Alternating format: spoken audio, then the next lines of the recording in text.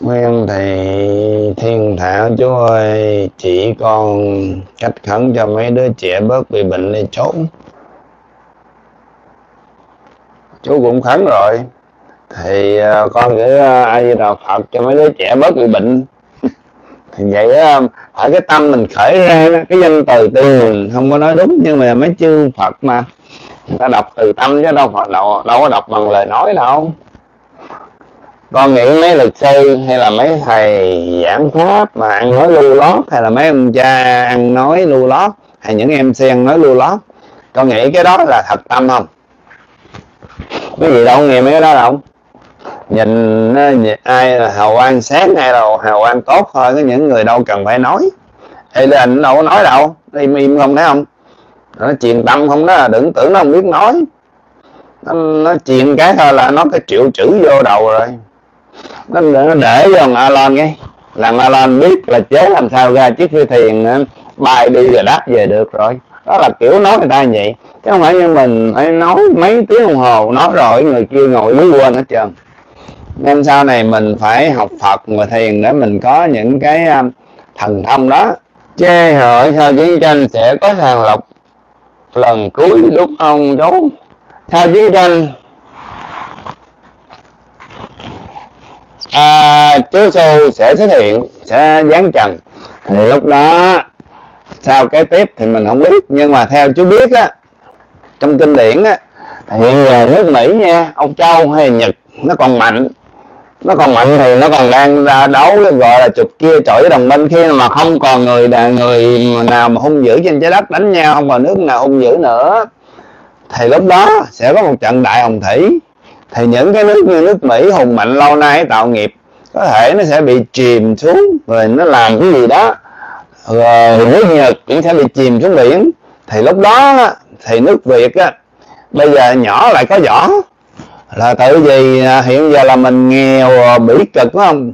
Nhà nói người ta khó tin á mình giờ mình làm ô sinh tùm lum còn làm cá đông lạnh đi khắp thế giới.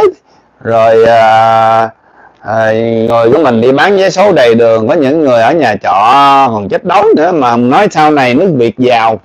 Có ai tin? Thì, thì bây giờ chú nói trước. Thì sau đó những cái nước mà giàu sang nó không quan trọng nữa. Mà khi địa chấn thiên tai lũ lụt đồ á thì tàn phá những nước đó. Họ sẽ không còn phát triển được. Thì từ đó nước việt á mới mới mới là một nước để phát triển. Những cái mỏ trong nước việt sẽ nổi lên hiện bây giờ không biết là nước mình phải mắc nợ không biết chú đóng khoảng ít nhất cũng trên ờ, mấy trăm tỷ đô la đó. Thì mỗi một đầu dân của con mình ở bên nước việt á, mà sanh ra là hình như mắc nợ cũng mấy triệu đô cho thế cho thế giới. Tại vì mình mượn nợ đầy đầu rồi, mình hết đường để mượn rồi thì vừa thanh ra hiện giờ mấy đứa nhỏ thanh ra là đang mắc nợ. Nhưng ngược lại những đứa nhỏ tương lai sau thời gọi là mà thời à, sau cái cái hội à, hội anh tài á, mà bên kinh gọi là hội à, hội long hoa mình thì mình nói hội anh tài thế giới đi. Thì mỗi đứa mỗi đứa nhỏ sanh ra là tự nhiên có cả trăm triệu đô la khỏi còn phải đi làm. Chỉ có đi tu thôi. Và chỉ có uh, biên chí dũng là lãnh đạo quốc gia thì lúc đó mình mới không có hối lộ nữa không? Thì tôi biết như vậy. Hiện giờ mỗi đứa sanh ra là mắc nợ rất là nhiều. Ăn không có mà lại mất cái nợ lên đầu. Thì tính ra chín mấy triệu người đó, mấy mấy trăm tỷ đô á, mình chia ra đi. Nam Hà Nội tương lai châu Âu có chết đói, chết rét không? Hiện giờ là cũng đang chết đói rồi. Du khen của lậu Châu và hôm nay vài tháng nữa mà thằng nghe nó không có mở cái cửa biển hắc hải gì đó thì biết nhiêu lúa gạo nó qua cái thời gian nó cũng sẽ hư dục xuống biển người thì không có ăn thì cũng sẽ chết đói thôi.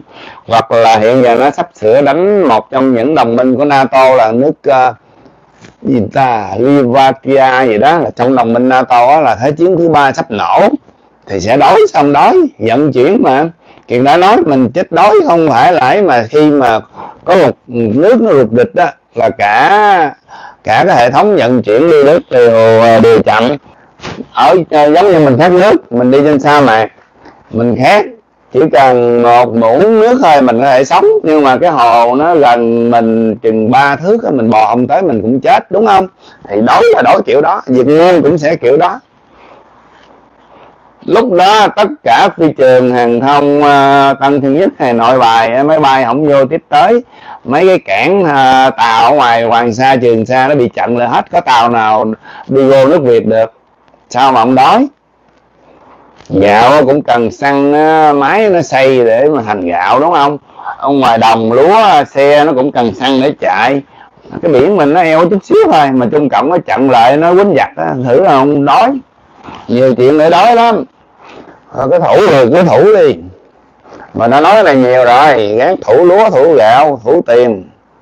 Thiên tiền con chào chú Kiệt. Nay thấy lên buổi sáng con rất vui à, Cảm ơn con. Chú ảnh giờ nào chú ờ, lên giờ đó. Em cho nó lâu lâu lên clip. Cho mấy bà con cứ nhắn tin Cứ uh, trách móc hoài. Sao không lên nói? Truyền tin uh, của bề trên đâu phải như tin tức thế gian là tin tức thế gian á nhiều lúc mình coi biết cũng chán. Ồ à, nghe có thể sẽ cái gì ngày mai à, trung cộng à, bay máy bay hù dọa mà nghe đâu cũng gần ba bốn năm nay có vợ dám bỏ trái bom xuống đài loan đâu. Rồi à, nó cứ vậy. Còn này tin tức của cái đài của mình là tin tức ở trên. Nói là phải có là phải chính xác thì mới nói. Còn chú cũng đâu có phải là chuyên nghiệp cái này đâu chú cũng mong có một ngày á, có một ngày chú sẽ làm một cái à, cái phòng nha cái phòng studio. Nhưng mà phải có người hiểu về đạo và ăn nói giỏi. Thì hai người à, nói chuyện qua chuyện lại, một người phỏng vấn chú, thì chú sẽ nói hoài nói hoài được. Còn này có một mình à đâu phải dễ nói đâu. Rất là khó. Nhớ gì nói cái đó chứ còn à, nói tràn gian đại hải mà chứ à, phải có hai người người hỏi qua hỏi lại á thì chú mới nói. Cũng giống như trên núi thì uh, những uh, mấy bác ở khách tiểu an thường về thăm lần cả trăm hai trăm người chúng bảy chủ nhật ở mấy khách sạn vòng vòng. Thì chú hãy nói uh, tại người hỏi thì chú nói uh, thường 7 giờ sáng tới năm sáu giờ chiều luôn mười mấy tiếng luôn á ngọn chỗ một á ở trển á trên núi mà thường mấy cái đó chú không cho quay phim là tự vì à, mình nói chuyện nó nó với cái phạm vi nhỏ có duyên gặp chú thì chú kể. Chứ còn nếu mà mình lên mỗi một cuộc nói chuyện hàng tuần ở trên núi bao nhiêu người về thăm mà lên phim đó nó sẽ làm cho người rất là à, quan tưởng mơ hồ. Làm gì có chuyện mà trời phật à, sát bên mình đúng không? Có người tin mà cái phần tin đâu có bao nhiêu đâu triệu người không tới chừng uh, trăm nghìn người nữa. Nên ừ, ai muốn biết sâu á, thì cứ về núi mà nói chuyện thẳng với chú mà đừng có quay phim đừng có thâu. Còn trên này chú chỉ nói chung dung là chuyện nó vậy. Hôm nay mình biết được có vị này sắp sửa giáng trần để mà cứu rỗi các con chiên của ngài sau chiến tranh thứ ba. Đó là vậy còn à, trở về ngược dòng thời gian 2 năm. Trước năm 2018 chú đã tiên tri Covid thì đã có thật. Đó coi là những clip cũ đó là Covid. Thì sau đó những chuyện kế tiếp xảy ra từ Covid Việt Nam cho tới hết Covid Việt Nam về uh, Trung Quốc uh, năm sẽ bảy Đài Loan tuyên bố độc lập. Những danh từ đó tới ngày hôm nay nó mới xuất hiện. Thời đó chú nói những cái đó người ta còn không có nghĩ là làm gì Đài Loan tuyên bố độc lập. Rồi làm gì Trung Quốc chia năm sẽ bảy. Đó, thì hôm nay những gì nó trốn hết. Rồi hôm nay thế giới tài chính kinh tế khủng hoảng. Thì bây giờ đang xảy ra thiệt nè. Giá, giá, giá xăng nó lên tới ờ, bảy uh, tám đô Mỹ rồi. Việt Nam cũng vậy. Sau này nếu có và được bề trên cho phép con xin được là người phỏng vấn chú. À hay đó nghe có lý à chú cần người làm như partner để mình mới ra cái ý. Còn giờ mà mình chú nói à mà nhiều lúc tức cười lắm. À, là tại nói cái này mình nói liên tục mình ngưng một phút hay mấy phút cũng hơi kỳ kỳ à, cái đầu à, vừa nói vừa gắn nhớ chuyện gì cần phải nói. Thì những cái chuyện quan trọng mà tiên tri mà thì chú đâu có nhiều đâu. Thì chú chỉ biết uh, tận thế rồi phật di lạc ra đời. Cái ác như thầy tennis sẽ chìm. Cái thiện sẽ nổi lên. Mình bây giờ đi cuối cùng cái đường hầm của cái biểu cực. Một chút uh, ngọn đèn ánh sáng của đường hầm mình gắn bò một chút nữa mình ra thì à, chỉ là chủ yếu là vậy thôi là khuyên người phải quay đầu lẹ với cha với mẹ với phật. Để mà kịp à, cái kỳ sàng lọc được à, lên lên thuyền bát nhã. Thuyền bát nhã đang vớt mình á. Mà kỳ này mấy anh chiên với mấy phật tử vớt quá trời á. Chúa giơ tay không chúa giơ tay kéo lên mà không chịu nắm gì trơn á. Là đâu có nắm đâu tại đâu có tin uh, chúa lại chọn thì dốt như chú. À, không có hiểu về công giáo nhiều mà lên đây chót chót. Tại khi họ nhìn là cái nhãn mạng họ lên là họ cười ngất thôi không có tin. Thì nhà cũng giống như thời xưa nữa giống như uh, chúa từ một tới ba chục tuổi. Thì uh, chúa xuất hiện. Tới ba uh, mốt tuổi bắt đầu chúa đi khuyên người ta hiền ở lành. Ai cũng cười không nghe rồi cái uh, chúa phải đi xa một chút. Rồi cứ đi xa. Trong 3 năm chúa chỉ đưa ăn hiền ở lành ăn lành ở hiền hiền ở lành lành ở hiền. Chỉ có vậy thôi. Chẳng có giáo lực chẳng có pháp môn gì hết. Cũng chẳng có ngồi thiền cũng chẳng có cuốn kinh. Đó thì thời đó. Nhưng mà ngược lại mà chúa ở ngay cái làng của ổng á, mà nói chuyện á người ta chửi ô cha con thơ mập biết gì? Đó.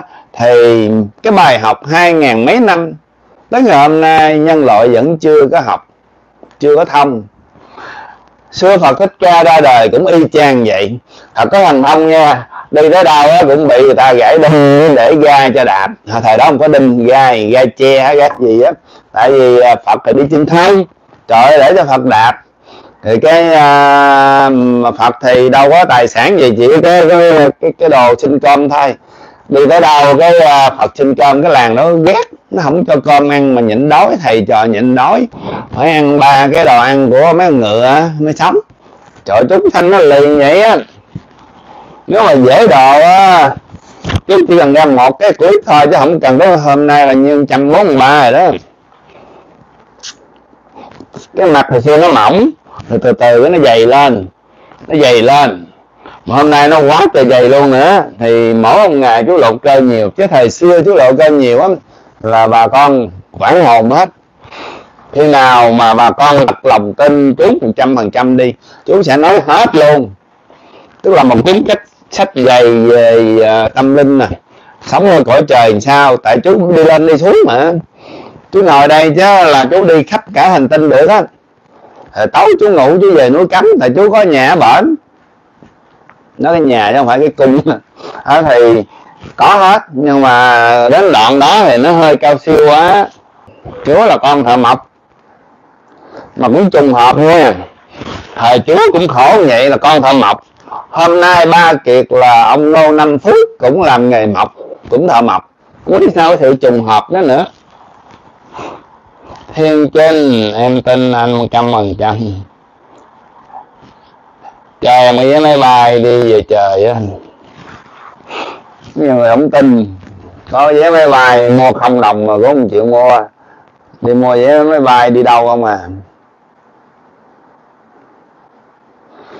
Chắc chèn. Hỏi, chiến tranh thứ ba nguy hiểm như thế nào? Thì 18.000 quả bom nguyên tử, hồi xưa đại nhị thế chiến Hiroshima với Kawasaki đó à trái bom thì đó là thuộc dạng giống như là gọi là phát triển còn thời nay là pháo đại mà bự pháo đại nữa thì mình cứ so sánh gì đó. Mà 18 ngàn cho không nguyên tử thì cái gì cứ suy nghĩ đi. Chưa tính nữa mấy trái bom hóa học nữa. Chuyện tức mà cũng mệt tại bữa nay ở ngoài trời như uh, nóng. Thời tiết bữa nay ngộ lắm ở uh, bắc cali. Mấy hai bữa nay nóng trên trăm độ.